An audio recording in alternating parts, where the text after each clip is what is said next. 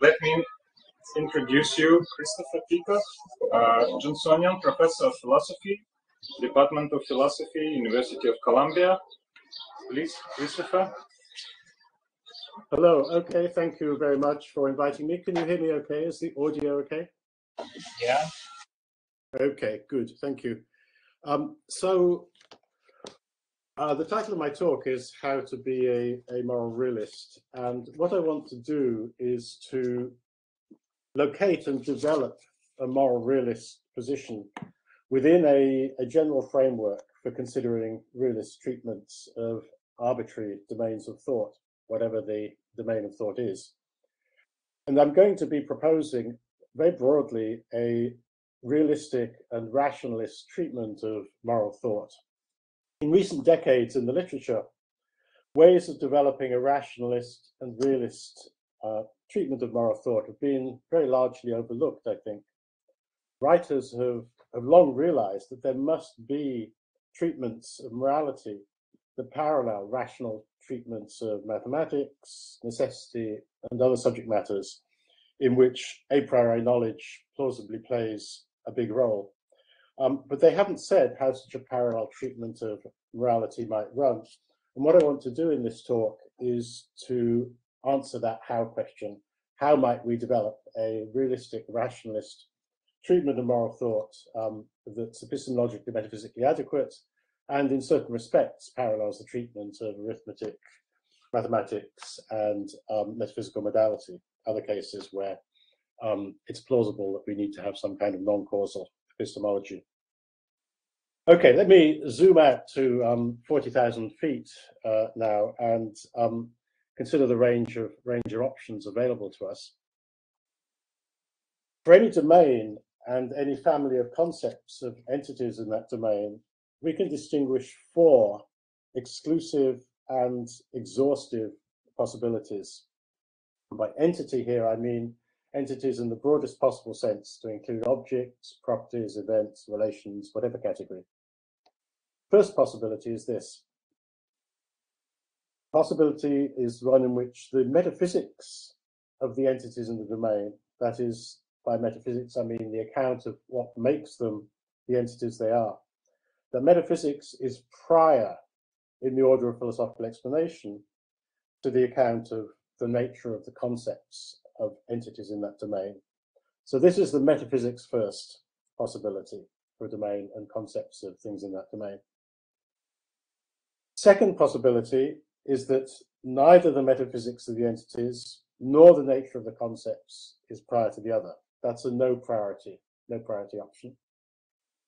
Third possibility, evidently, is that the nature of the concepts of the entities is prior in the order of philosophical explanation to the nature of the entities. That's a concept first or in linguistic formulation, meaning first possibility. And the fourth possibility, of course, is that the correct treatment of that domain um, should eliminate the notion of reference altogether.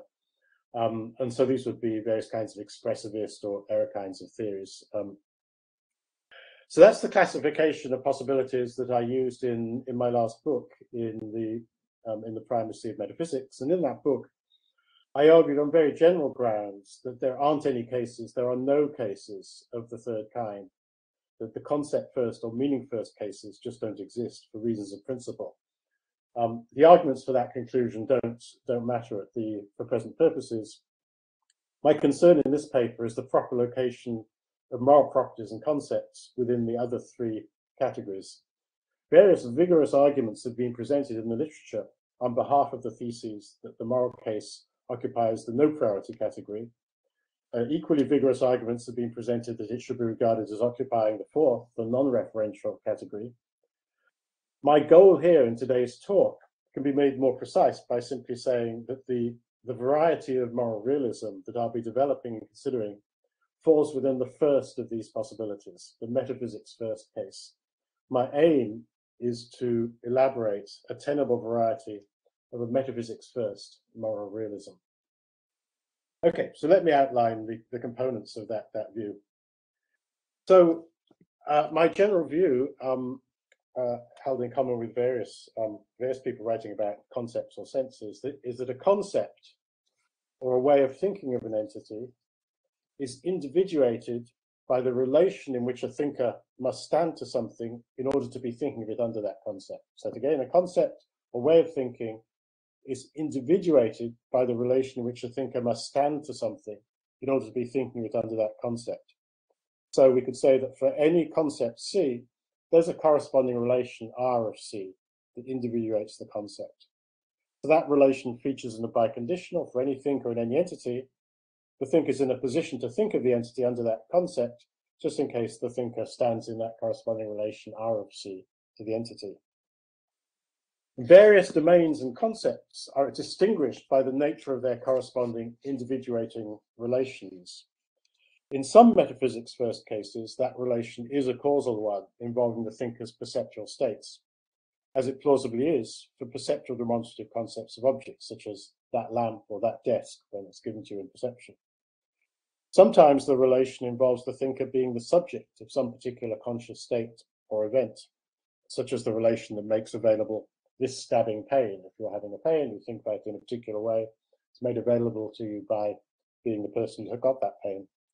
But obviously, neither causal nor ownership models seem the most plausible, um, suitable candidates for parallels with the moral case. And um, I think we need to consider alternatives. Um, in the cases uh, where rationalist treatment have seemed plausible, such as natural numbers and modality, um, I think we should apply a principle that I called in that book the principle individuation precedes representation principle individuation precedes representation. And I want to argue that we can develop an account of um, the metaphysics and understanding and epistemology of morality that applies that principle, the principle individuation precedes representation. So let me just remind you or give some illustrations of how that principle operates in certain cases. So consider for relative simplicity the case of natural numbers. Each natural number the number itself, the natural number itself, not a concept of the number, the natural number itself is individuated by the condition uh, for it to be the number of f's for an arbitrary property of f. So the natural number zero is individuated by the condition that for there to be zero f's is for it to be the case that nothing is f. The number one is individuated by the condition that for there to be one f is for it to be the case that something is f and anything that's f is that same thing again, and so forth. These are points about the nature, the metaphysics of each natural number, about what makes it the number it is.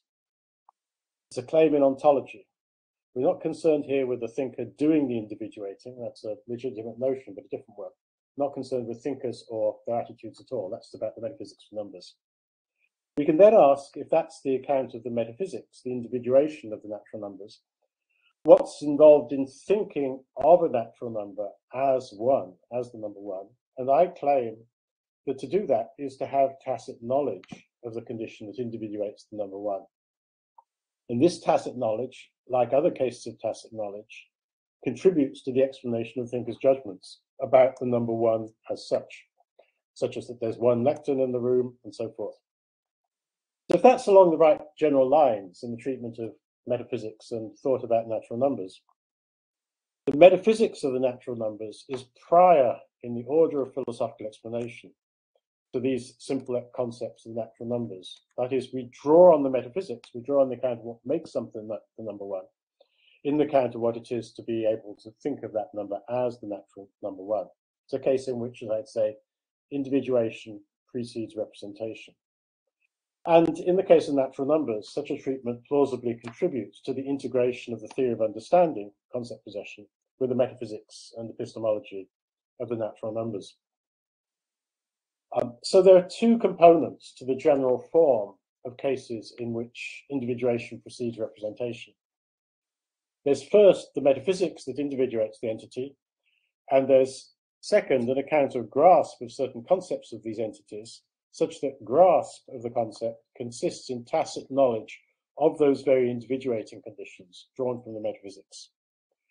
Um, the principle-based treatment of metaphysical necessity that I suggested some time ago is of that general form too. Those are cases in which individuation precedes representation, and cases in which, of course, grasp of the concepts on this account doesn't involve any kind of causal or perceptual relation with those entities. So how might we apply this model to moral thought? Well, to do that, we have to ask what might be the metaphysics of the property of, for instance, the moral goodness of a state of affairs be? That's a substantive issue of morality.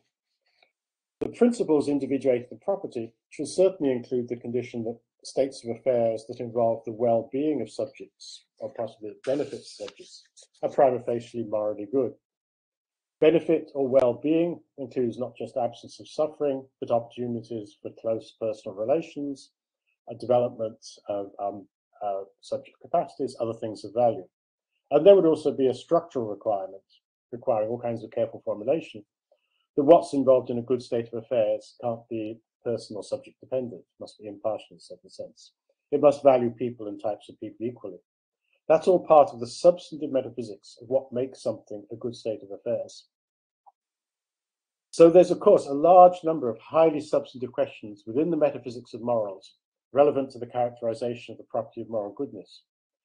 Can it be individuated independently of the notion of a virtue? If not, we'd need to have a simultaneous account of virtue too. Same applies to the notion of value. Again, it's a substantive issue in the metaphysics of moral goodness, where the value needs to enter as a further element it would be governed by further principles, such as that everything that's of value is of value in some specific respect, and so on and so forth. The issue of whether all these constraints on being a morally good state of affairs can be given underlying unification, that also has to be addressed by a good metaphysics of the property.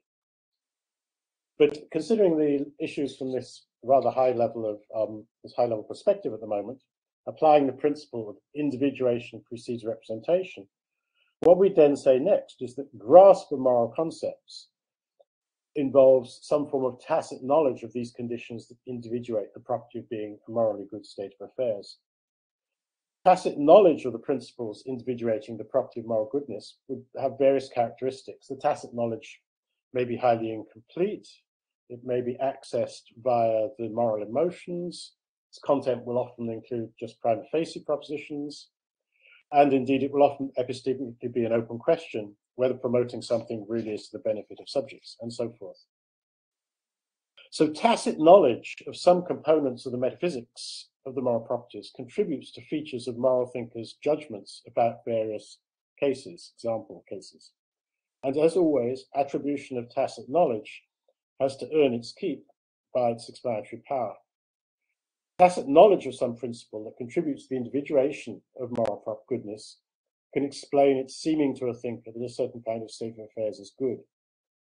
Ordinary moral thinkers needn't have any special skill in articulating the tacit knowledge that helps to explain their judgments, just as they may have no ability to articulate the tacit knowledge that guides their intuitions about the grammaticality of a sentence in their own, natural language.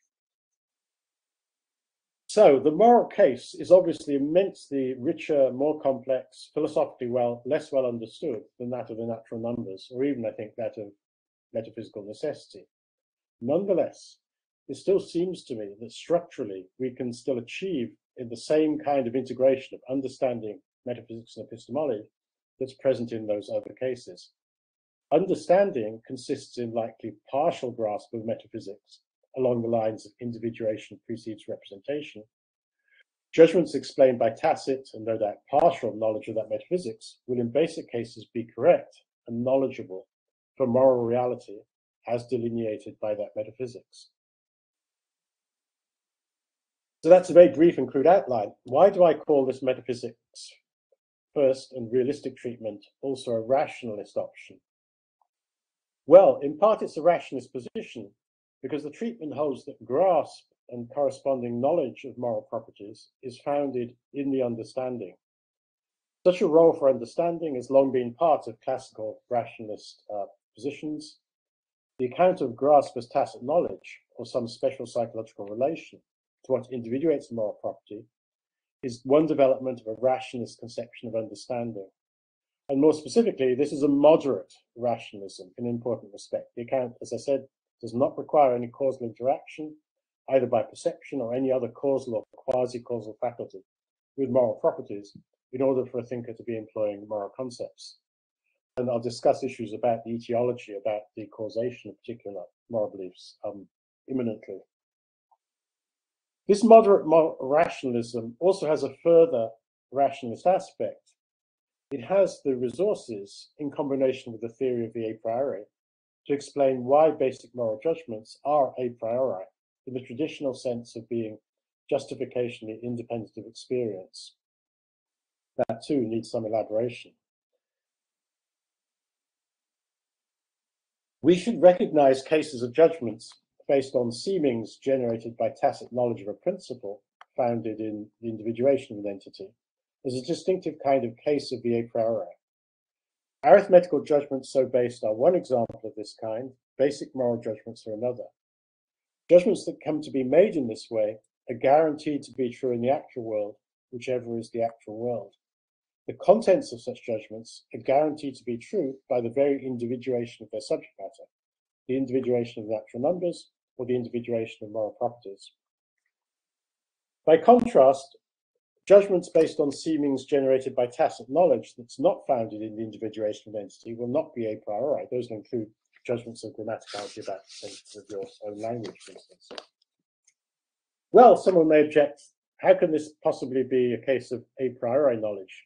If the seeming hadn't occurred and it's part of the thinker's justification for the arithmetical or moral judgment, how can what's judged be justification independent of experience, as is classically required a priori status? Well, here we have to distinguish. We have to distinguish whether the justification exists and is independent from experience from the thinker's relation to that justification, why it seems to the thinker to be a justification.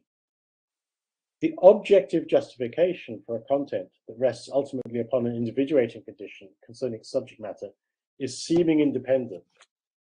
The objective justification is a tree structure whose topmost node or nodes contain principles individuating some entity, a tree structure that involves truth preservation, and at the root of the tree is the justified proposition. That could all be made formally precise for those like that. What matters is that the tree structure does not contain mental elements, nor is its structure mind dependent. By contrast, in the very different case of a posteriori perceptual justification, the objective justifying structure contains a perceptual state in the objective justifying structure itself. So that's a way of locating how this can be an account of a priori knowledge by distinguishing very sharply between objective justificational structures and the thinker's psychological relation to those structures. The same distinction should be made, of course, in the case of mathematical or logical proof. The, the mathematical or logical proof uh, considers a tree structure of, of, sentences or of thoughts or propositions is, is mind independent. Um, thinkers have various different, uh, sometimes experiential dependent relations to those objective structures.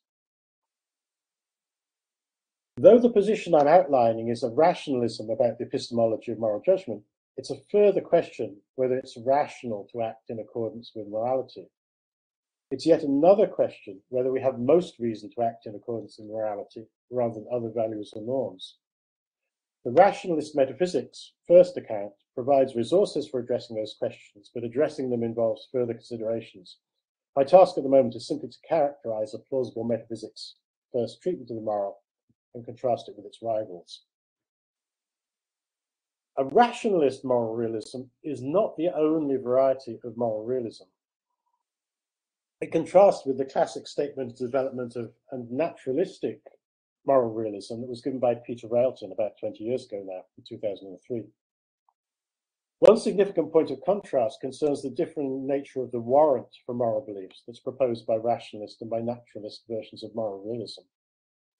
As distinct from the fundamentally a priori form of justification for moral beliefs that's available on the rationalist view, Peter Railton writes, and I quote him, epistemic warrant may be tied to an external criterion, as it is, for example, by causal or reliabilist theories of knowledge.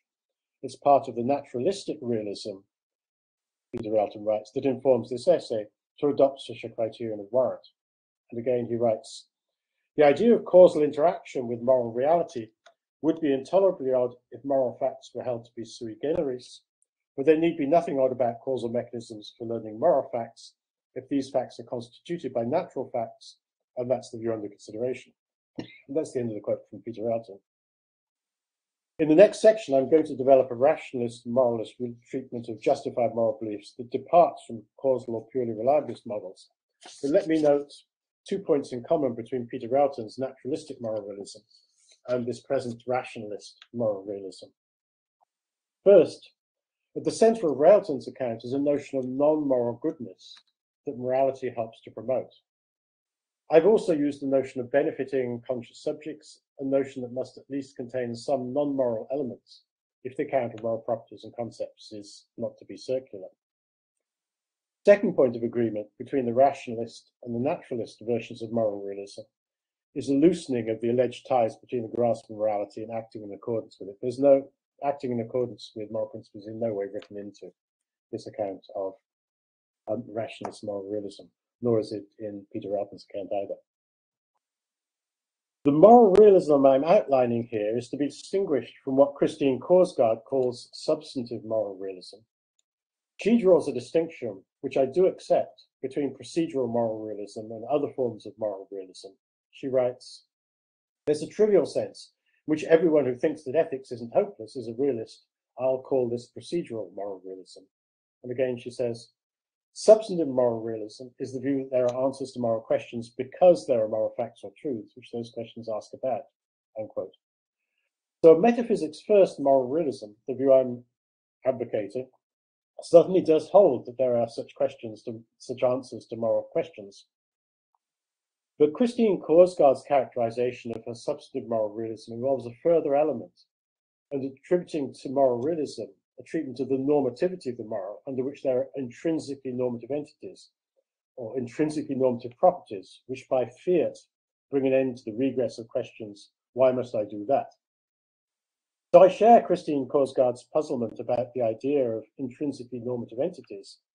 They're not part of any metaphysics first moral realism of the kind I'm considering, which could be called a kind of sober, sober moral realism. The sober metaphysics first theorist should agree there is a genuine question whether there are good reasons for promoting what's morally good to promote the metaphysics of morals so classified. Okay, um, let me speed on here because time is going um, very quickly. Uh, we know also from multiple discussions in moral philosophy that we need to distinguish the goodness of a state of affairs from the goodness of an action and the goodness of an agent. A morally good agent may not be required to produce a good state of affairs if doing so would involve egregious betrayal or would involve great harm to those the agent loves, and so forth, for many conceivable examples. It's entirely open to a metaphysics first moral realist to distinguish the properties of being a good state of affairs and the property of being a good agent, and to provide realist treatments of each of those distinct properties. Being realistic about each of them doesn't mean that they can't diverge. Nor does realism about these properties mean that there must be some overarching truth about which of the two we should follow in the case of divergence.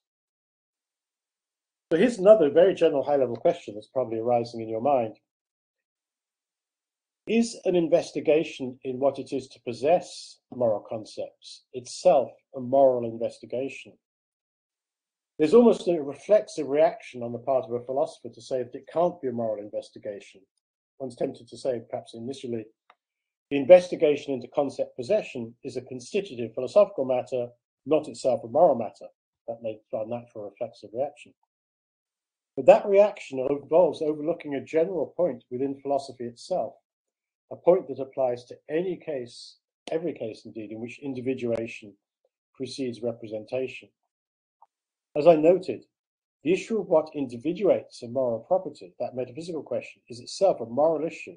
It's a moral issue of what makes something a good state of affairs. Similarly, the question of what makes a proposition metaphysically necessary, that's a question of modal metaphysics. The question of what makes something the natural number zero is equally a question of the metaphysics of numbers. So a general domain independent philosophical principle applies in cases in which individuation precedes representation, the correct account of concept possession depends upon the metaphysics of the domain in question. If individuation does precede representation from morality, modality, and arithmetic, it follows that what it is to possess a moral concept depends on the nature of moral properties.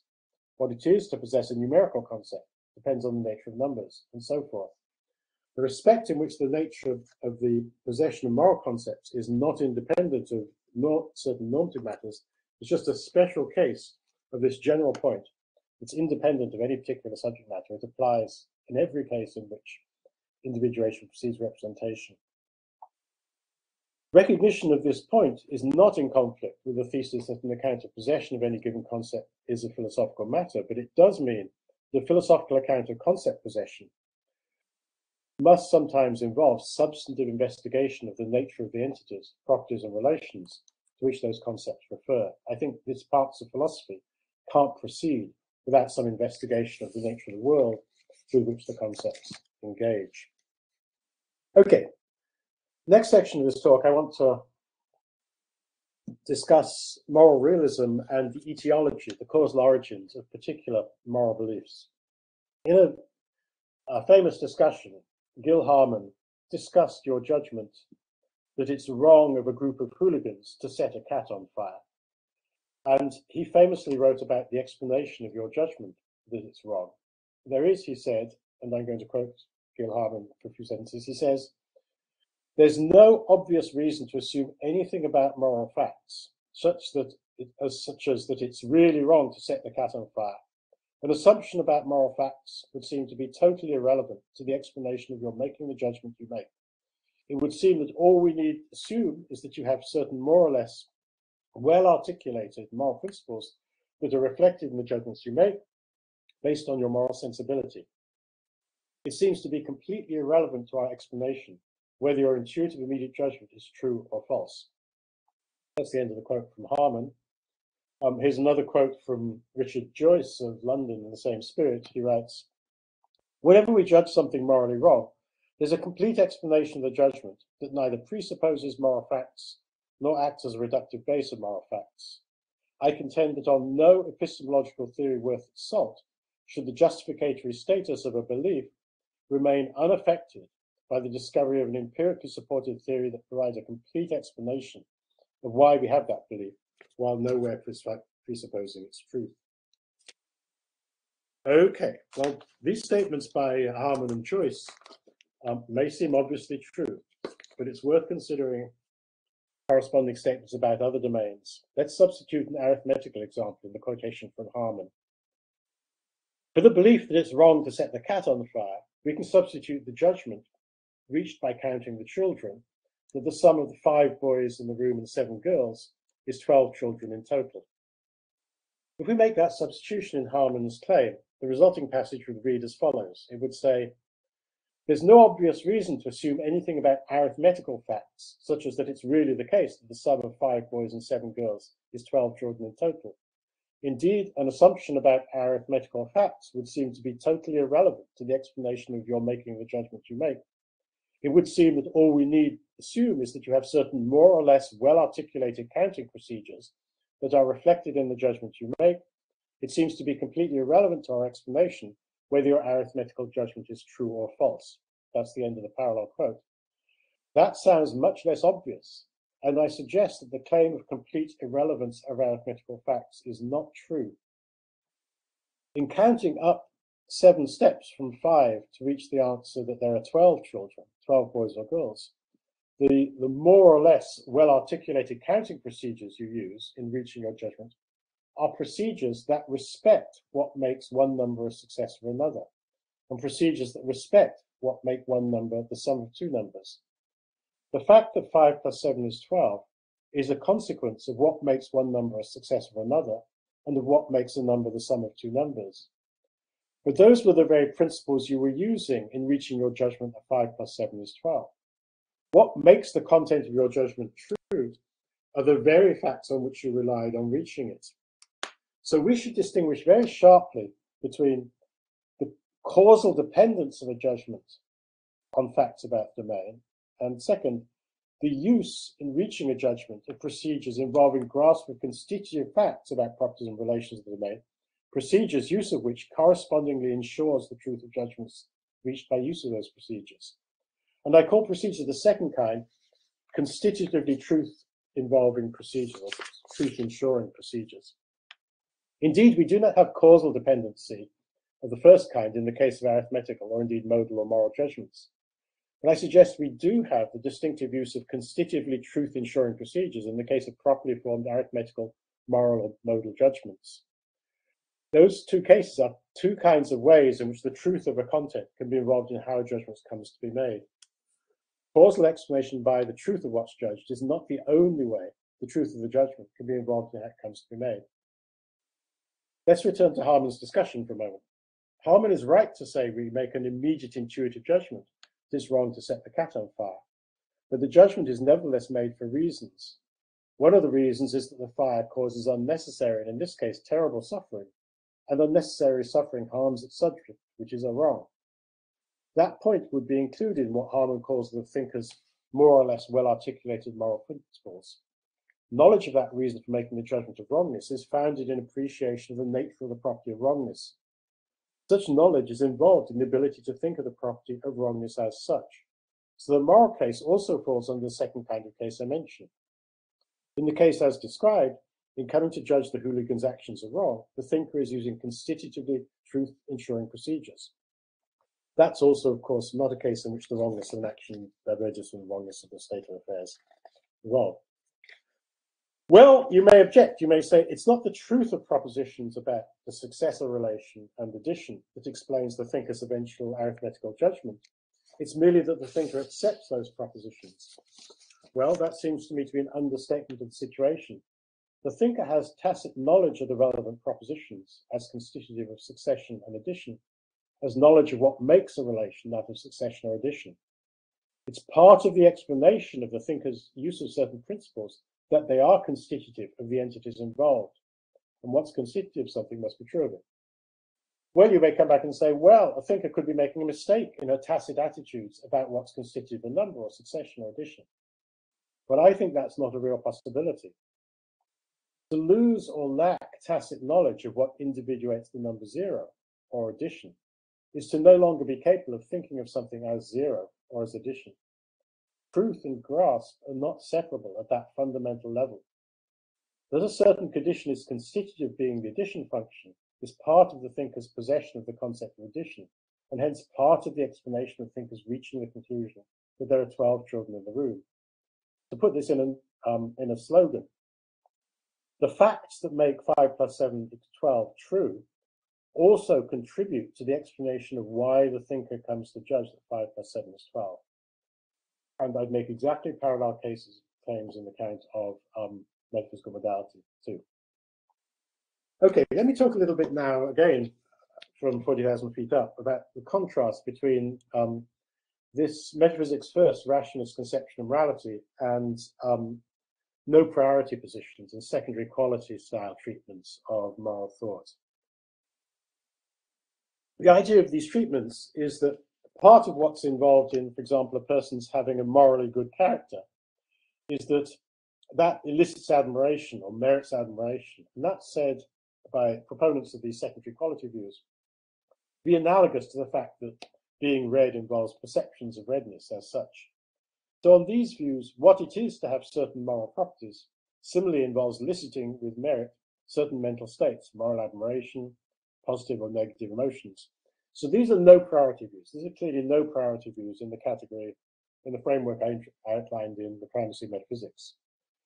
Under these no priority treatments, the mental states involved in the metaphysics of what it is to have the moral properties involve conceptualization of that very property as a certain moral property. And the views of John McDowell, David Wiggins, both fall within that no priority category, despite their differences.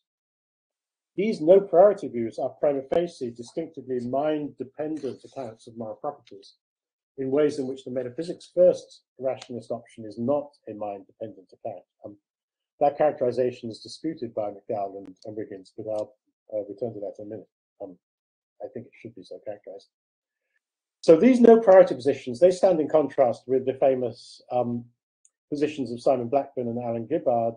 For quasi-realists like Simon Blackburn, it's a mistake to think there's any such topic as the metaphysics of the good, and the idea of the metaphysics of goodness is equally a mistaken idea under Alan Gibbard's expressivist views. I want to consider three problems for the distinctively no priority positions of McDowell or Wiggins, um, problems that do not arise um, on the rationalist, realistic conception of morality.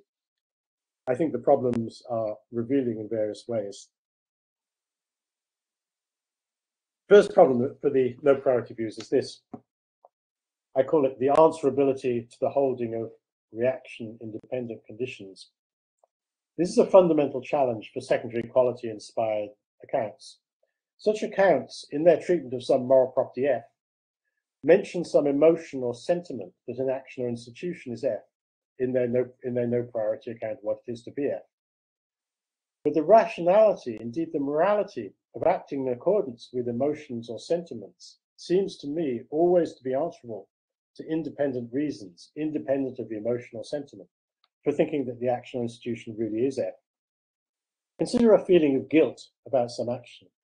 If there's no good reason for feeling guilty about it, no property of the action that was wrong, then that emotion of guilt is not a good guide to wrongness. If the representation or content of the moral emotional sentiment, its representation of something is good or bad in a certain respect, can't be justified, it shouldn't be mentioned in the account of what it is to have a moral property in question. Indeed, in those circumstances, doesn't justify moral judgment at all. That's not to deny that sometimes our emotions may be ahead of our considered rational judgment. Sometimes we may experience an emotion of guilt about some action, and only later come to realize the action was indeed wrong. That's entirely consistent with the thesis that when some action really is wrong, there must be something that makes it wrong, is independent of the occurrence of the emotion of guilt. The fact that sometimes the emotion of guilt may be epistemically more informative than our current judgment about an action doesn't contradict the constitutive thesis about what makes an action wrong. The constitutive point is acknowledged by John McDowell, for instance, when, as it seems to me, he rightly insists that a sentiment of admiration may exist, but a virtue is conceived as something that not only elicits the appropriate attitude, but merits it. And a similar point applies to the emotion of guilt, as I just argued. But here I think we have a major disanalogy with colour. Colour experience just happens to one. There are no further commitments beyond other possible experiences and their causes in endorsing a judgment the content judgment um, endorsing in judgment the content of a color experience. There's no such thing as a further condition of meriting color experience. The idea of something meriting color experience doesn't make any sense. By contrast, you should endorse in judgment the content of a moral emotion that something is F, only if it's reasonable to think that there are emotion independent reasons for judging it to be F. And the same applies, it seems to me, to mental events if its striking one, something is good or right. Well, McDowell is sophisticated philosophy, so sensitive to these points, and he moves to finesse this difference from classical secondary qualities by considering what he calls the property of fearfulness. And I agree, it does make sense to say that something merits fear. And McDowell says of fearfulness that it shares the crucial feature with the moral cases. I disagree. I think this is a false analogy. Fear, like other emotions, does have representational content. It represents some object or state of affairs as dangerous. With a crucial respect of this analogy is that being dangerous is a condition specifiable quite independently of the emotion of fear. The situation that's dangerous to a subject is one that is at substantial risk of causing harm or damage to the subject. And harm and damage are not to be explained in terms of the emotion of fear. So being dangerous is not to be explained in terms of the emotion of fear. Since meriting fear is thus independently specifiable, the case of fear is not a no priority case. So when McDowell writes, for an object to merit fear is just for it to be fearful, I disagree. For an object to merit fear is just for it to be dangerous. Note also that in other genuinely mind dependent cases, it makes no sense to say that the reaction is merited or not. Some things are indeed not appropriately laughed at or found amusing, such as attempted jokes that presuppose racism or prejudice or acquiescence in cruelty. But when the subject matter is not too serious for amusement, there's no question of meriting amusement. There's no failure to appreciate what's merited if one doesn't find something funny that other people do. And I think the same applies to pleasure in the sense of taste and smell. Second issue, mind dependence. The no priority positions of McDowell and Wiggins involve mind dependence because mind dependence should be characterized in terms of what makes something the case. According to the secondary quality view, what makes something right or wrong on the secondary quality view is a matter of which mental states, even if justified mental states, it produces in certain specified circumstances. It does not suffice to this, to reply to this, to appeal to modal rigidification. That reply says that we can fix on what relevantly mind-independent property actually produces the mental reaction, and then insist that the existence of this mind-independent property frees the secondary quality inspired accounts from the charge of mind dependence. Both Wiggins and McDowell, I'm sorry, both Wiggins and Blackburn, despite their other differences, make this rigidification move. But actually, even the case of secondary qualities themselves shows the inadequacies of this rigidification move as a defense against the charge of mind dependence. The concept red is rigid in respect to the physical property it picks out. Even if humans had had very different perceptual systems, perhaps with spectrum inversion, the same objects as are actually red would still be red. That point hardly shows that color is not mind dependent. The right way to elaborate the claim of mind dependence is in terms of propositions about what makes something have a certain property, rather than in terms of conditions of one metaphysical modality. Rigidification does not solve the constitutive challenge that equally arises for the various positions of Wiggins, McDowell, and Blackburn in various respects. Here I actually agree with the passing remark of David Lewis, where he writes, the trick of rigidifying seems more to hinder the expression of the worry than to make it go away. Okay, third issue, the issue of a priori status. In the case of metaphysical modality, there's a plausible general proposition. Any true proposition about metaphysical necessity is either a priori and necessary, or if the proposition is empirical, it's a consequence of two propositions, one of which is a priori necessary, the other is both non-modal and empirical. For example, the general proposition of the identity of necessity is a priori. It's necessary for all x, x is identical with x. Under this kind of position, it's agreed that necessarily Hesperus phosphorus is a posteriori, but as a consequence, the necessity of identity, which is an a priori matter, and the entirely non-modal a posteriori proposition Hesperus phosphorus. So what's excluded by the plausible general position is a case that, of irreducibly necessary a posteriori. That is a case of the a posteriori that's not a consequence of propositions that are either both a priori necessary or both a posteriori contingent. And if indeed there are no such cases, that will be explained by the fundamental principles of individual necessity having an a priori status. Exactly the same argument seems to me to apply to morality. It's a priori and necessary that it's good to do what reduces suffering, other things equal. It's often an a posteriori matter, what in fact reduces suffering. It's hard to think of moral truths that are irreducibly a posteriori and necessary. And if indeed there are no such cases, that would be explained by the fundamental principles in individuating moral properties having an a priori status. Actually, naturalist Railton-like writers of metaphysics' first treatments of morality could make the same point if that theorist is friendly at all to the notion of the a priori, because the naturalist could also say it's a priori that what promotes non-moral goodness for subjects is morally good. It's a posteriori matter what those things are. The fundamentally a priori character of the propositions of morality seems to me to pose a problem for the no priority views of McDowell and Wiggins. If what it is to be morally good or to have some other moral properties to be explained as a mental states how can it be possible to know the propositions of morality a priori, justification independent of being in such states? That's a modern contemporary version of one of Kant's points against Hume, and it seems to me still to carry some force. And further discussion of those points is obviously going to depend on further elaboration of the notion of the a priori. Let me make a few remarks about the contrast between this kind of rationalist moral realism and expressivism.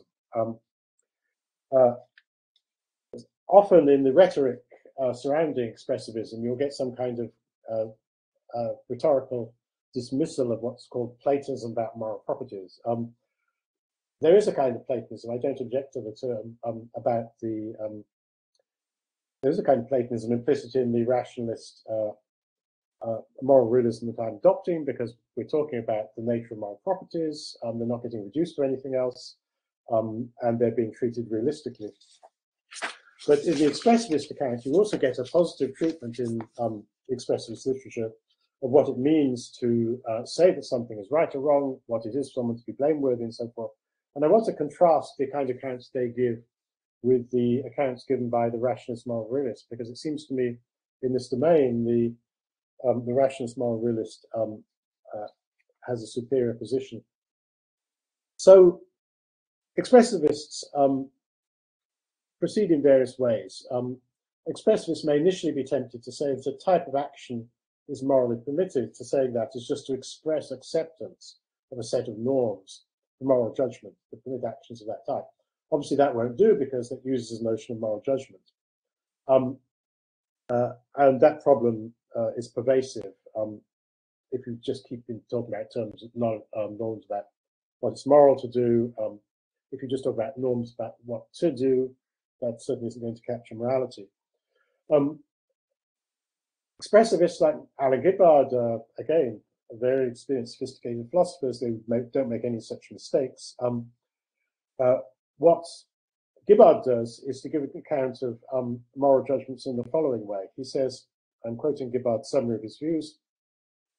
He says, I spoke of guilt and resentment. A person is to blame for something if it would make sense for him to feel guilty for having done it and for others to resent him for having done it. So he says that um, a person is to blame for something if it would make sense for him to feel guilty for having done it and for others to resent him for having done it. Um, and that certainly involves, uh, certainly avoids objections to naive expressivist accounts. Nevertheless, I think it's open to three objections, objections that I think generalize to other forms of expressivism. And the first objection is that it overlooks the most problematic circularity. Um, Alan Gibbard does consider the objection that his account of blame gets things backwards. So here's a quote from Alan Gibbard's 1990 book. He says, Anger and guilt themselves include moral judgments, it said. To be angry with a person is in part to judge he's acted wrongly, and to feel guilty is in part to judge that one has acted wrong oneself, acted wrongly oneself. We can't explain moral judgments in terms of guilt and anger, for we must explain guilt and anger in terms of moral judgments. And Gibbard continues, I need enough of an account of emotions to cope with this objection. And to the objection as he formulates it, Gibbard eventually replies very reasonably, I can feel guilt inappropriately. I can feel it without being at fault, without thinking myself at fault. That is what happens when I realize that I feel guilt senselessly. My objection, as you might predict, is that Gibbard has not formulated or addressed the most problematic circularity concerning guilt. The most problematic circularity concerns not judgment, but the representational content of the emotion of guilt.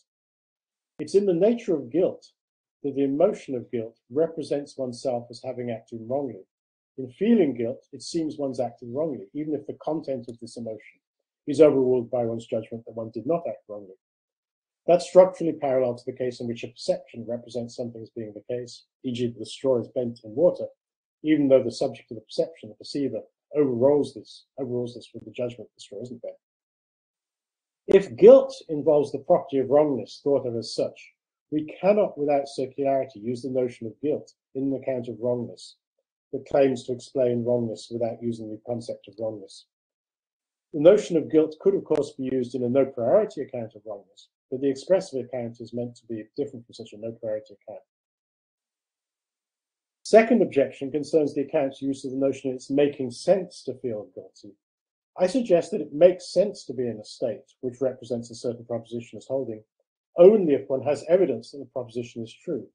It makes sense to feel guilty about an action only if there's some evidence that the action is wrong. But again, that involves the notion of truth or falsity, the proposition the action is wrong. That hasn't been explained in expressive terms. Um, uh, I'm not doing very well for time. I want to leave enough time for discussion. Let me um, let me speak very briefly about um, uh, the relation between rationalist moral realism and evolutionary accounts of uh, the benefits of having moral beliefs. Um, these issues have been very extensively debated in recent years, especially by um, uh, my New York colleague uh, Sharon Street. Um, particularly pressing has been the relation of moral realism to considerations of evolution and natural selection. In a very well-known paper, Sharon Street writes in 2006, the challenge for realist theories of value is to explain the relation between these evolutionary influences on our evaluative attitudes on the one hand, and the independent evaluative truths that realism posits on the other. Realism, I argue, she argues, can give no satisfactory account of this relation. It's the end of the quote.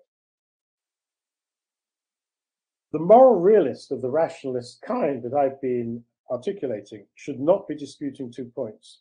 The moral realist should not be disputing that belief systems that are adaptive will persist in a group. Nor should the moral realist dispute, as things actually are, that moral beliefs are largely adaptive. But the moral realist should distinguish two questions. What explains the persistence of moral beliefs in a community? And what explains why an individual acquires particular moral beliefs on a particular occasion? Different explanatory resources are needed in answering those two questions, and it doesn't answer the question of, of the explanation by the individual of moral beliefs to note that moral beliefs are adaptive by and large. That doesn't explain the etiology of moral belief on a particular occasion. Here, a partially parallel case may be helpful. We can expect the persistence of perceptual systems over generations in a type of organism, where these perceptual systems give adaptive information about the organism's environment. That fact does not release us from the obligation to give an explanation of how these perceptual systems, on a particular occasion, a particular individual, succeed in supplying roughly correct information about the environment. And of course, perceptual psychologists do precisely aim to give explanations of um, how perceptual systems give roughly accurate information.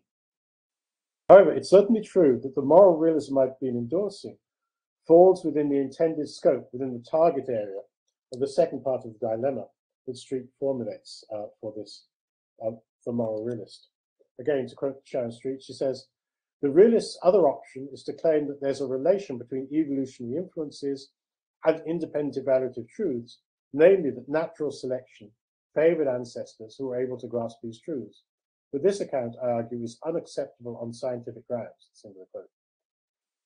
Street has a specific conception of what would be required for mind independent truths to be explanatory of someone's actions, and that conception is causal. She writes, a creature obviously can't run into such truths or fall over them or be by or be eaten by them. End of the quote.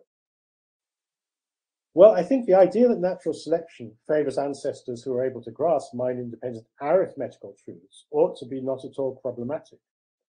The account above of grasp of mind-independent arithmetical truths, the account relying on the principle individuation procedure representations, explains how that can be so without any commitment to causal interaction with the natural numbers. Thinkers can form arithmetical beliefs on particular occasions by constitutively truth-ensuring procedures and those beliefs will, in appropriate circumstances, be adaptive. It's certainly adaptive to be right about arithmetic.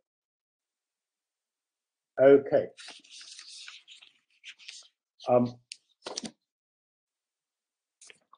let me just note a further point here. It's important that on the account of arithmetic involving individuation procedure representation, there's a constitutive connection between the nature of a natural number n and the condition for it to be true that there are n things that are f, for an arbitrary property f. Under that account, it's impossible for the identity conditions of natural numbers to come apart from their role in application of numerical quantification. Um, and that's why it's adaptive to have uh, true arithmetical beliefs. Okay, let me summarize here so, um, so there's enough time for discussion. Um, what I've said, in effect, is that there's a position in logical space that identifies a rationalistic moral realism that treats it in very, very broad terms in the same way that rationalist treatments, metaphysics first treatments are available for um, metaphysical necessity and for um, the truths of arithmetic, and also I would argue for real numbers as well.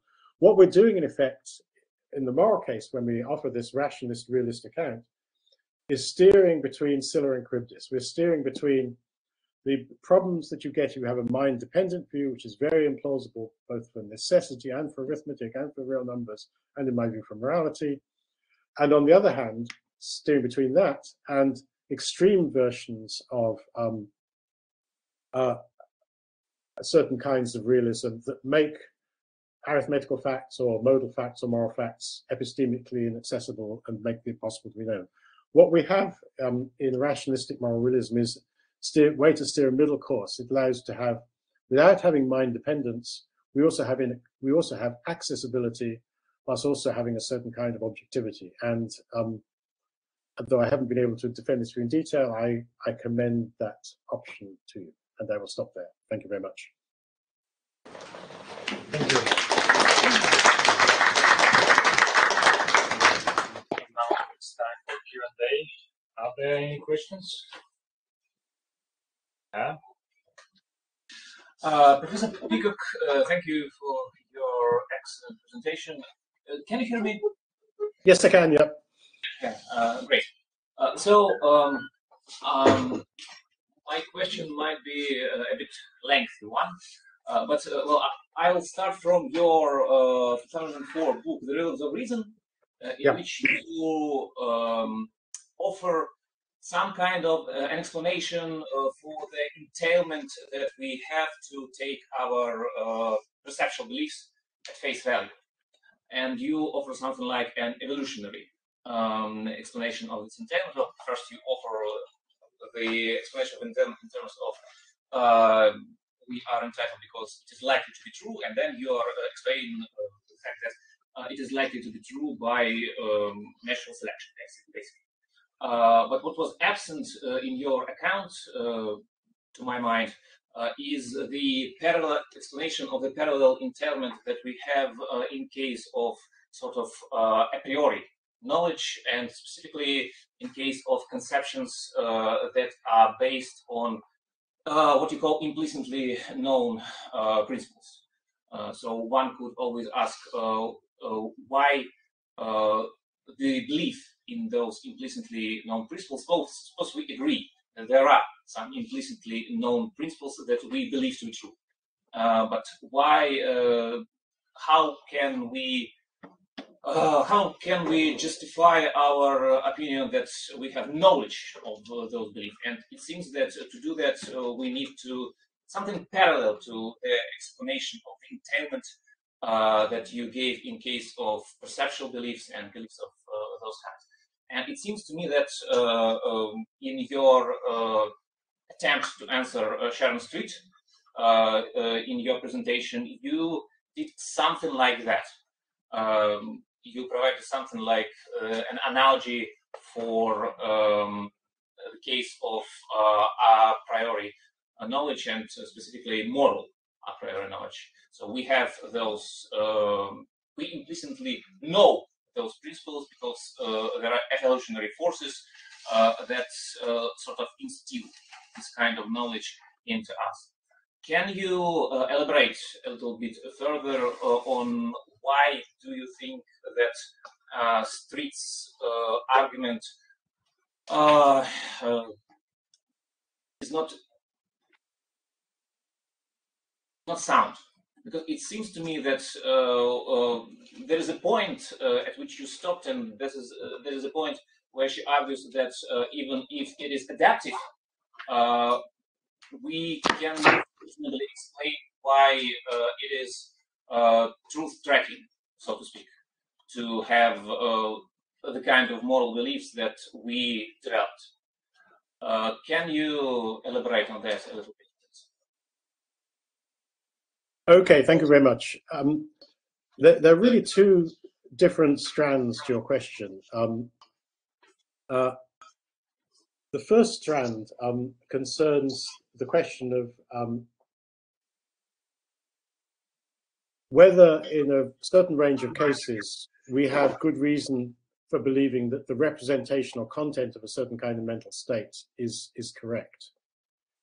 Um, now, we can divide subject matters um, into a very, very broad general partition. There are those um, subject matters where it's very plausible that the, our account of the grasp of the concepts has to make mention of mental states with a certain kind of representational content. In our grasp of the spatial and temporal world, it's extremely plausible that understanding somehow or other involves um, temporal perception, spatial perception. And so the question in those cases of whether the representational content of the mental states is correct is is pressing and urgent and interesting and significant. Um, in cases where understanding does not turn crucially on the um, certain kinds of mental states with representational content, um, those issues don't arise. So, what's distinctive about um, the rationalist account of arithmetic,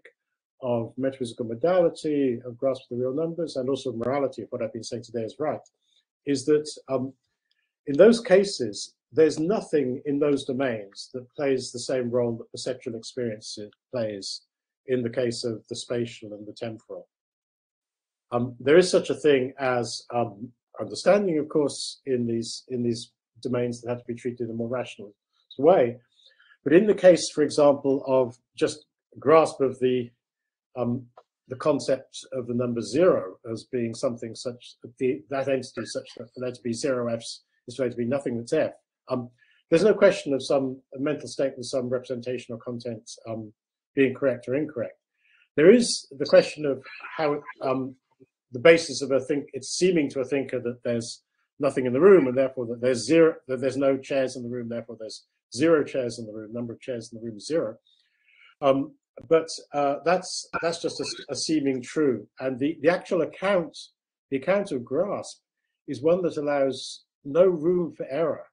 If if what it is to think of something as zero is to have tacit knowledge um, that uh, for there to be zero f's is for there to be nothing that's F, not the case there's something that's F, um, then in using that in together with other other true beliefs and forming conclusions about the number of things in the room, um, uh, you there's no possibility of, of, going wrong. You might go wrong about um, uh, whether you've seen a chair over there in the corner or not, um, but that's that's various kinds of empirical error. You're not making any error that's based on your grasp of what it is to be zero or one. Um, and I would say the same in the case of metaphysical necessity. I'd say in the case of grasp of the um, concepts of the real numbers as well.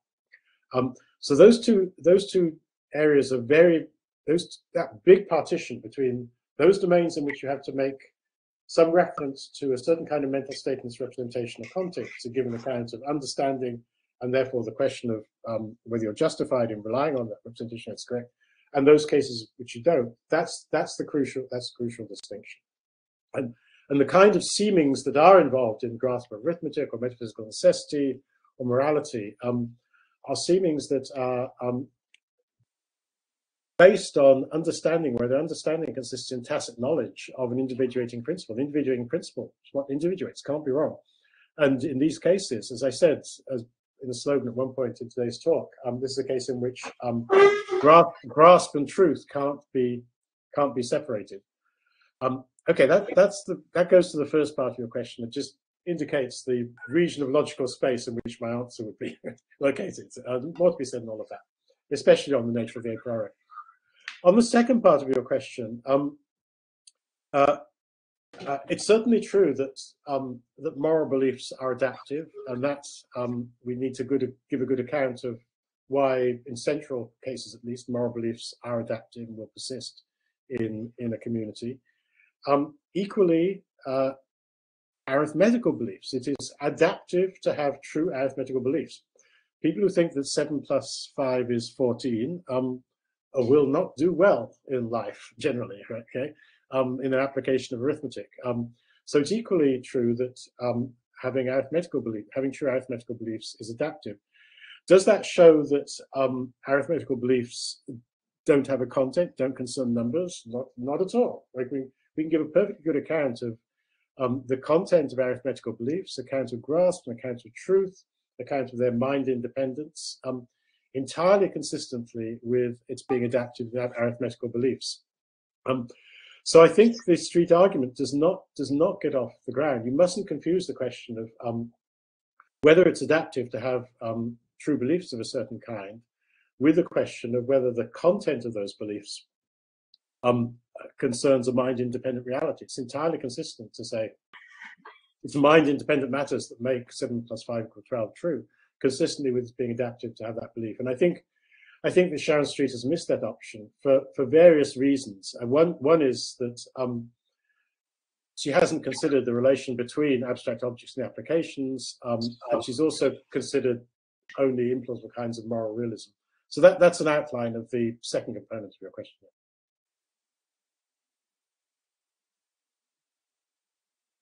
Okay, so other questions?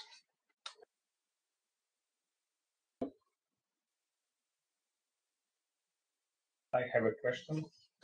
yeah. Uh, so, uh, as I as I understand, implicit knowledge plays a crucial role in your account of uh, rational realist uh, moral Yes. uh, conception. Right? Yeah.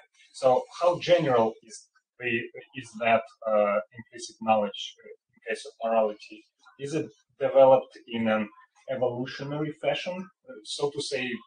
I guess my ancestors probably never faced a silicon life form. So what about applying some um, moral uh, moral reasoning towards uh, silicon life form? For example, is it moral to kill a silicon-based life form?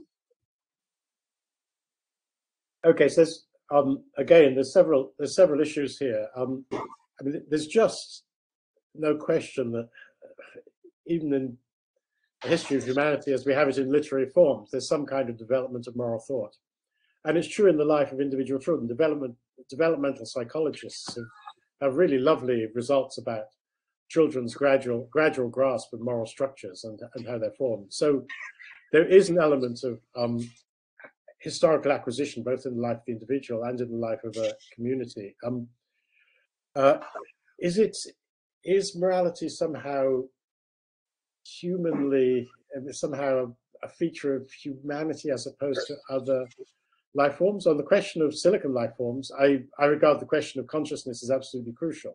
Um, obviously, it's always bad to destroy complex, interesting things, but it's a different kind of matter. It's a different kind of issue whether if those life forms are, are conscious. I don't have any difficulty with the idea that silicon-based um, structures could could in principle be be conscious if sufficiently sufficiently structured. Um, but I think it would turn it would turn on that. Um, it is um, it is an interesting question you you raised at the start of your remarks um, about how general uh, the content of tacit knowledge is, and I regard this as a really substantive, interesting question. Um, so, if you take, um, I mean, I know from the conference program, there's uh, people who are interested in the philosophy of mathematics, philosophy of set theory here. Um, so, the, our grasp of the concept of a set um, is an extremely interesting thing. It has a certain kind of generality, and when people discover, as Gödel quite rightly remarked, um, new axioms um, for set theory, sometimes you can see them as um, justified. Sometimes Gödel talked about the um, new axioms being implied by the concept. That's the phrase he used in the 1947 article. Implied, implied by the concept. The idea is that you somehow have this um, grasp of a concept that goes beyond what we can immediately articulate, um, but makes it rational to accept a completely new axiom. And the same, the same is true of um, morality, I think. Um, so sometimes, um, uh, if you take something that's sometimes seen as a as a new value, um, authenticity, being authentic in one's personal life, um, sometimes people say, well, that's you know that's something that's not there in earlier formulations of of morality. Um, well, I'm, I'm, not clear it isn't. You know, there's a question of um, openness and honesty, and authenticity might be regarded as um, a fuller explication of what's involved in certain kind of openness in, in interpersonal relations. Um, but there will be some cases, there'll be some cases in which it's it's a mistake to say that um, some new axiom, some new moral principle is implicit in the conception we have, and that really we're just doing further delineation. We're doing precisification. We're doing precisification rather than extracting something that was already there.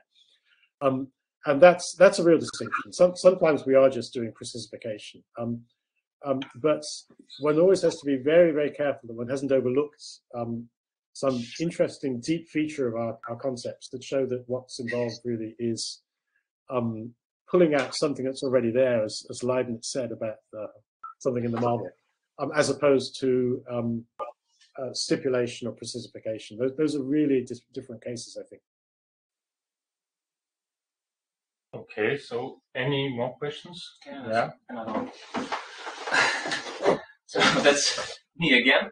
Um, I have another question. Um, uh, you, uh, in your response, you said that, uh, if I understood you correctly, that uh, sort of purely a, a priori um, propositions are devoid of representa- representational content.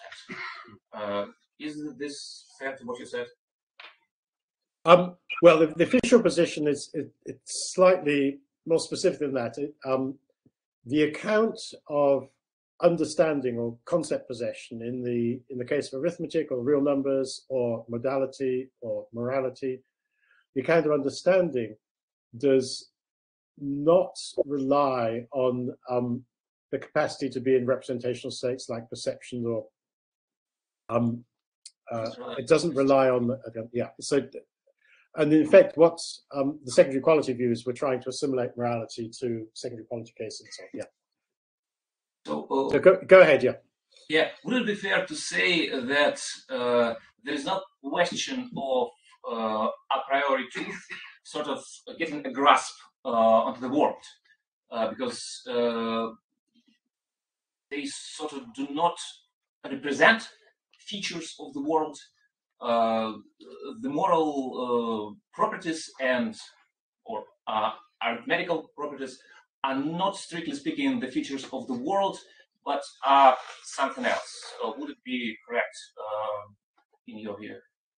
No, I don't think it would be correct. I, um, you know, the notion of the world you're using there is very, very problematic. I, um, so when I say that um, that's a natural number, the number itself, the entity itself, is individuated by the condition for being the number, um, that number of things. Um, that's a state. That's a that's a constitutive statement about a certain entity, about the number one, the number zero. Similarly, about the property of metaphysical necessity. When I give an account of that in terms of um, uh, that something is necessary just in case um, uh, it respects all the, the constraints on the individuation of the entities and the concepts mentioned in the proposition that's said to be necessary. Um, again, that's um, individuating individuating property, saying what what makes that the property it is. But you know, you can use the notion of the world in such a way that it's stipulatively restricted to the spatio-temporal. In which case, of course, numbers, evidence relations, justification, a whole lot of things wouldn't be in the world in that sense. But that's just a stipulative restriction. There's no ontological elimination of numbers or metaphysical necessity or moral properties um, on the view I've been offering. In fact, that's why I say it's a kind of it's a kind of realism. I mean, you you're taking the numbers is individuated by certain things, the moral properties is individuated by certain things, the metaphysical modality is individuated by certain conditions, um, and then you're tying grasp of those notions to relations to those properties and entities themselves. So the ontology is in no way eliminated or reduced here. Um, it's so Venusian the notion of the world, um, just um, in accordance with Quine on ontological commitment. Everything I've said um, involves ontological commitment to numbers, to moral properties, to modal properties. Uh, okay, uh, I think what I'm thinking about in um, uh, asking about the world, the notion of the world, is something uh, that, um, in a way, sort of resists uh, us, um, resists, um, resists making statements that are uh, sort of arbitrary, right? Um, I uh, do not mean to imply that uh, I want to restrict the notion of the world to say physical world uh, only or something else. Uh, I am quite sympathetic actually towards moral realism and realism and arithmetics and so on. What I'm trying to understand, understand is the specifics of your position.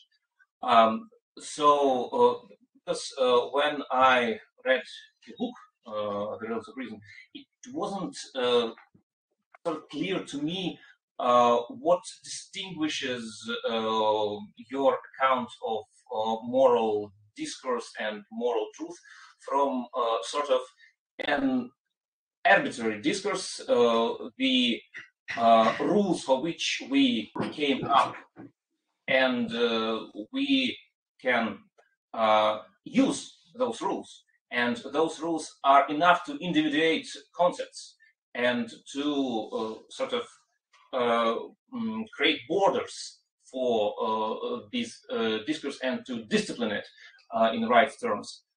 but uh, if uh, it uh, has no grasp into, on the world of some kind, um, it seems that it is not easy to see why we should regard this kind of discourse as significant, as we would certainly like to regard moral discourse, and we would like to be able to explain why it is significant and it has uh, significance it has. Yes.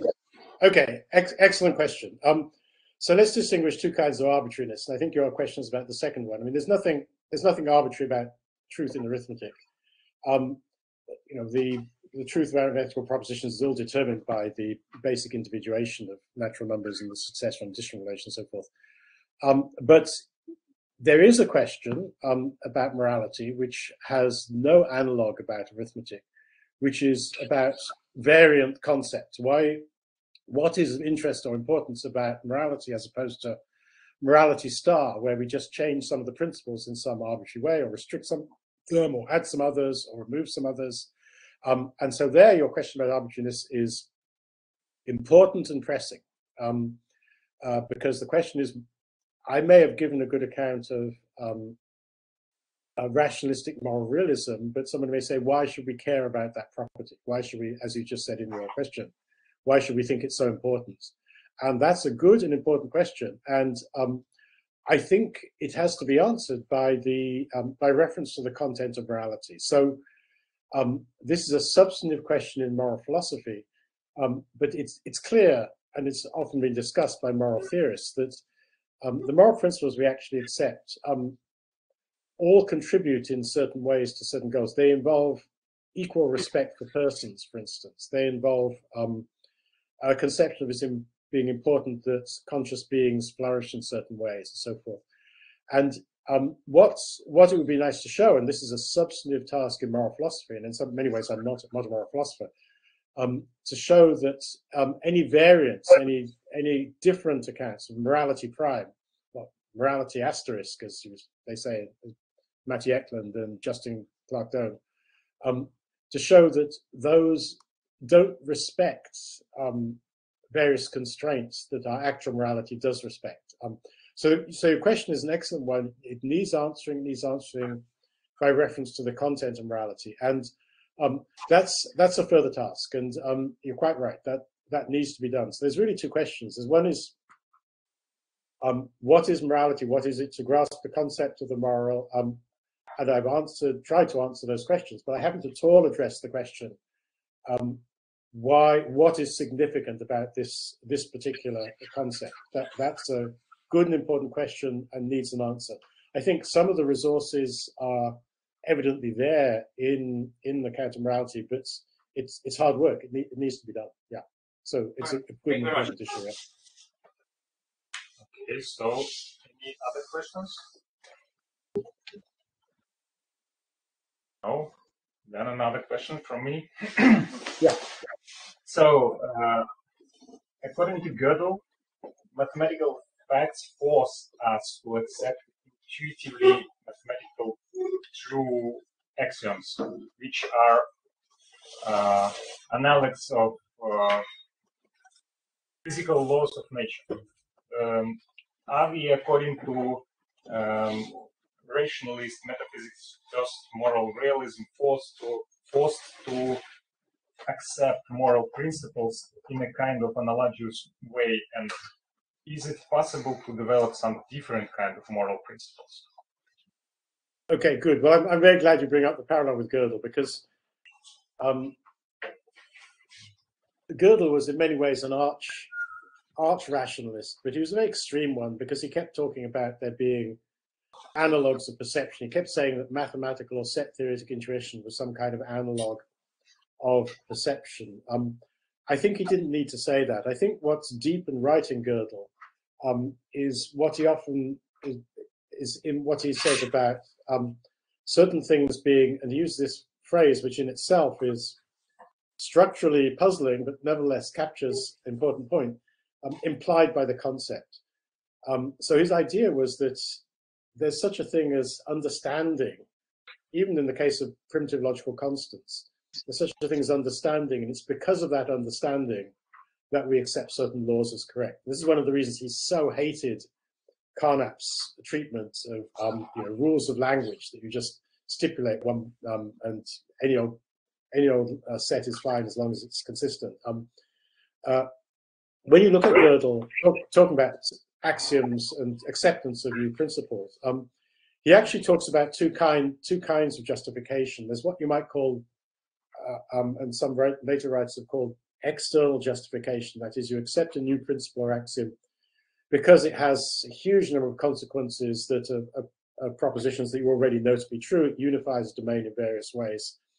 Um, but there's, and that's analogous to um, discovering a new physical law. It explains lots of things you already knew to be the case, um, and perhaps explains some new things discovered to be the case as well. But he distinguishes that from kind of internal justification, where something's implied by the concept, and that um, um, that distinction we can also make in the case of moral principles. Often, when people are discussing hard cases um, in the ethics of reproductive technology and whatnot. We have intuitions about particular examples, um, and then you see, oh yes, that would be unified by the following kind of principle about consent or understanding. Um, but then there's also a question of whether this, this new principle that's perhaps initially reached by its explanatory power can itself be justified on the basis of the concepts of morality, of agency, of responsibility, knowledge, and so forth um, that you already have. And the, the most rationalistic aspects of Gödel that I think are most promising for the development of rationalist epistemology are those where he's discussing what's what's implied by the concept. When you look at current treatments of um, you know huge large cardinal axioms in set theory, um, people quite rightly distinguish two kinds of justifications for acceptance. One is via their consequences, they explain various things we already know, perhaps explain various things that we can independently discover to be true that we didn't already know to be true. But there's also a much more interesting case in which that new proposed axiom itself has a rationale in the concept of set. So um, the notion of a set, it goes beyond just the iterative conception. Um, it has various structural properties um, that people have discussed when discussing reflection axioms. Um, it, it's a rich, it's a rich notion, and in a certain sense, you want anything to be able to count count as a, a set, as long as you're not not getting a contradiction um, there's some rationale for including um, these sets. Um, and so a new axiom may be justified in either of those two ways, either by its consequences or by having some rationale um, by the very concept of a set. And I would say the same of new, new moral principles, new, new moral axioms as well. Um, so the Gödel discussion is, is very helpful, interesting in sorts of ways. I think the point at which I wouldn't want to follow him is when he says that the um, the arithmetic and set theoretic intuitions um, are to be treated as analogous to sense perception. That causal model will take you off the rails here. It will, it will not give you any good account of why these things are a priori. It won't give you an account of why they're necessary. That's bad. I think we need a kind of moderate, moderate rationalism that recognizes those kinds of insights, but doesn't doesn't appeal to some obscure quasi-causal faculty. Okay, uh, if I remember correctly, lately Gödel claimed that the continuum hypothesis is false, despite. Yes, he did. Yeah, yeah, did, yeah. Hmm, yeah, that's right. Despite um, yeah. he believed that it is true, so yeah, he was forced to accept it in the first place, and then he was forced to accept that it is false. How yeah. moral realist can guarantee that one forced to accept the true moral? No, I I, you know, that we we change our moral views on all kinds of things, um, and uh, I think it's often, it's very striking. Gödel's change of view on that was um, prompted by his recognition, I think, of the the richness of intuitive concept of set um, under which this this thing, the continuum hypothesis, couldn't couldn't possibly be true. We had just a um, you know much much richer um, conception of the of, um, of the domain of sets. Uh, so, we we change our minds on moral principles all the time, and I think in the case where our change of mind is really going in the right direction as opposed to the wrong direction, not incompatible with realism at all. It's it's a question of whether the principle we now um, we now accept or now reject um, is one that can be founded in um, our, our, tacit knowledge of those those principles of morality. That, that's what I think is the is the crucial question. But yeah, there's no epistemic assurances anywhere in this kind of realism, anywhere as there is. You know, we make mistakes about modal thought as well. That's entirely consistent with changing our mind is consistent with the basic account being that of a um, a rationalist uh, realist. So, any any other questions? yeah. um, yeah, third one. Um, are you familiar with uh, Derek Parfit's approach to moral uh, to establishing a moral realist position? I am, uh, yes. Yes, and if so, how would you classify him within your framework? I mean, uh, would you say that he is what you call a faculty rationalist because he does kind of believe that there are things out in the world, uh, the uh, irreducibly normative uh, entities, reasons, and that that is what we grasp uh, when we grasp uh, what it is to be a reason for something, and so on. But on the other hand, he uh, is very insistent that it is a non-causal causal faculty and that the relation that we have to uh, those kind of, of, entities are the non-causal ones. So, yeah. your terms, would he still be a faculty, uh, moral realist, uh, faculty rationalist, or perhaps uh, the differences between his position and yours are purely superficial? Um, some of the differences are superficial and some of them aren't, I think. Um, so obviously there is somewhere or other that we come to know truths about, about what's a reason for what. Um, so we have that capacity. If you want to say it's a faculty, it's just a trivial reformulation. Um, I would prefer to um, do things in terms of um, tacit knowledge of what makes something a reason for something else. Uh, but that's that that may be may may well be a trivial difference. Um, the issue about reducibility is very complex and interesting. So um, uh, it may it's it's consistent to believe that the normative in general is not reducible to something else. Um, but it may be consistent within that general, very general background thesis of irreducibility um, to accept that some norms can be explained in terms of other norms. So so um, certain norms, so if you take norms for rational judgment, norms for um, making a judgment on the basis of certain kinds of evidence, um, there's a very reasonable case to be made that um, these norms are derivative from the aim of judging only what's true. You have the general background, judgment aims at truth. Um, you aim to judge something only if it's true. And the various norms for making judgments um, are derivative from that. Now, if you if you accept that, um, that's that means that certain kinds of reasons for judgment can be explained in terms of um, some more general norm, the norm of um, aiming judging aiming to judge only what's true. That wouldn't take these reasons out of the domain of the normative altogether. The notion of truth, you know, can't really be separated from the notion of the content of judgment. It's got its home in this network of relations. Nevertheless, some norms, um, some reasons could be explained in terms of other normative notions. Um, and so I would separate very sharply the question of the irreducibility of the normative, which I certainly do believe in, from um, what Tim Scanlon calls reasons primitivism, that um, that uh, something's being a reason for something else can't be explained in any other terms, not even any other normative terms or terms relating to rationality.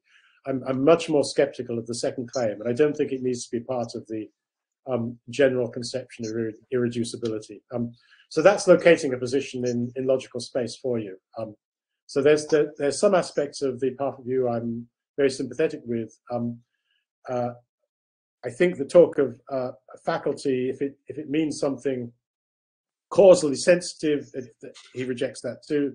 If it means explained by, well, that explained by could be accommodated within, indeed, it's it's there in the account of individuation precedes representation. The representation of precisely is sensitivity to what individuates something.